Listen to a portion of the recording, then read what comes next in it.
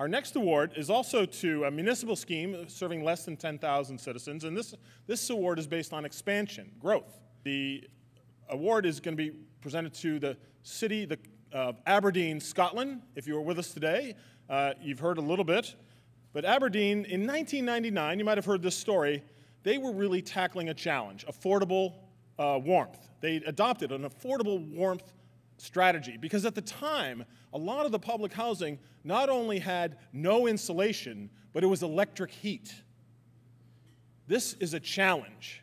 Uh, so in 2002, the community leaders launched a nonprofit district energy CHP system. And if you heard Councillor Crockett this afternoon, their lawyers told them not to go forward, and their leadership pressed ahead. They converted the local housing from poorly insulated all electric, and today they have district heating supplying 86% of the community in Aberdeen.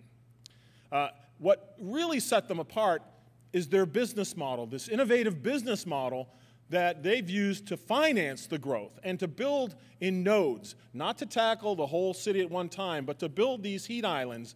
And as they, as, as they connect, uh, uh they interconnect them and grow the community. It's very much a community-based uh, uh, project, very high efficiency, cutting the carbon emissions by 45%. And I think uh, Councillor Crockett is going to share with us, they're also not resting on their laurels. They're moving forward, uh, looking to integrate uh, hydrogen, fuel cells, and quite a number of other innovations.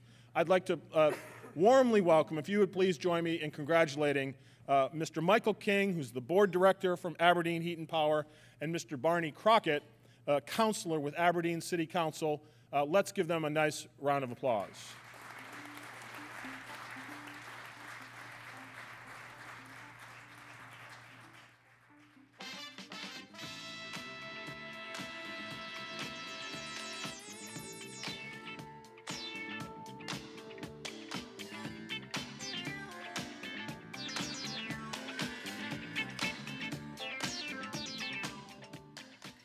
ladies and gentlemen, um, three things to say is that firstly is that um, it's, it, we are humbled and really, really honoured to, uh, to, to get this award.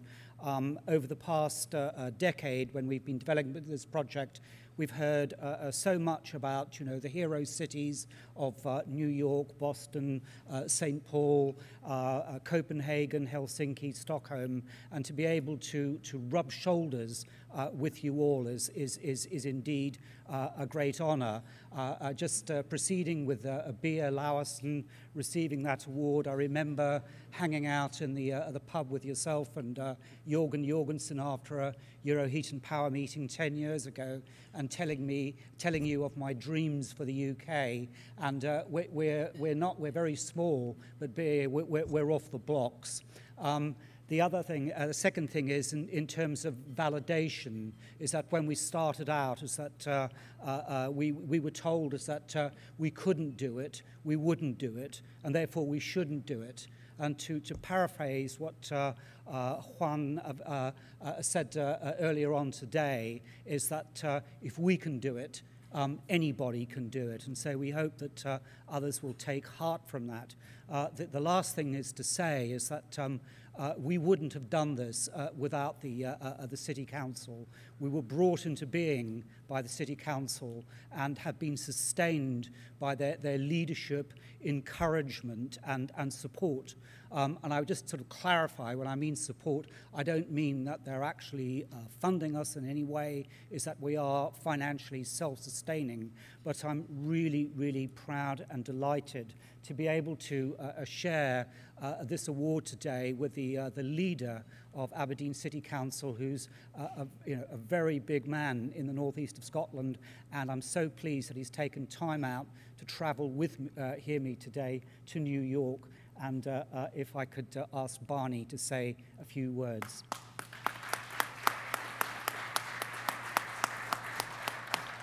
Uh, thanks very much, Michael, and thanks to, to everybody that's been responsible for this award. I mean, it is indeed, as was said, uh, uh, humbling. I think that uh, the, the challenges of doing it, a bit like Saudi Arabia in Aberdeen, it's a, an oil city. And uh, to achieve this, it's a bit like uh, Dr. Johnson said when he saw the dancing dog. He said, it's not that it does it very well, it's just amazing it does it at all. And, but I do want to reflect a couple of things that uh, Kai Uwe mentioned earlier uh, this evening. And uh, one, he spoke about uh, branding uh, uh, in various ways. And I think it would be ever so proud uh, for me if our city was branded not by a beautiful building, but by a social initiative that grew from the people and is delivering affordable energy to all our citizens, in particular poorer citizens. I think that would be a, tr- a tremendous thing for our small city. And um, also, he spoke about the strength of involving more, uh, uh, you know, the more people you involve, the, the, the, the, stronger the initiative. And I think that's something also that comes out of the, the, the project here and that, that we can take forward uh, further. And so, once again, thank you very much for that, all of that encouragement to all of you. Thank you very much. Thank you.